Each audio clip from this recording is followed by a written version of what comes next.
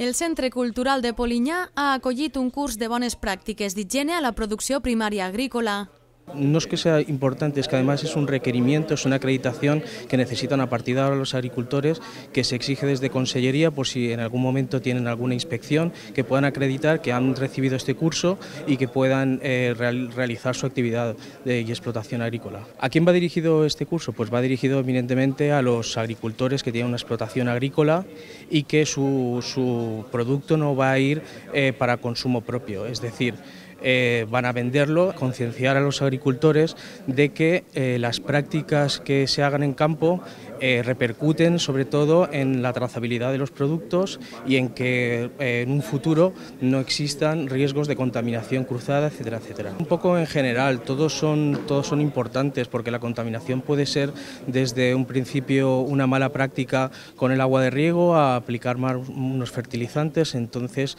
hay que hacer hincapié en todos los puntos, son muy importantes. Els assistents han après bones pràctiques pel que fa a l'aigua, als productes fitosanitaris, als fertilitzants inorgànics i orgànics, la recolecció i el transport i pel que fa també a l'envasat. Un curs al qual han participat veïns i veïnes amb l'objectiu de rebre un certificat amb el qual han rebut formació sobre les bones pràctiques d'higiene en la producció primària agrícola omplint un nou, un nou objectiu que ens marca la, la Conselleria en això de les ajudes europees i venim pues, a fer una espècie de curs, suposo que és per a, per al tema de, de saber omplir els quadernos de camp i, i bueno, pues tindré algo més de coneixement de lo que tenim en, en,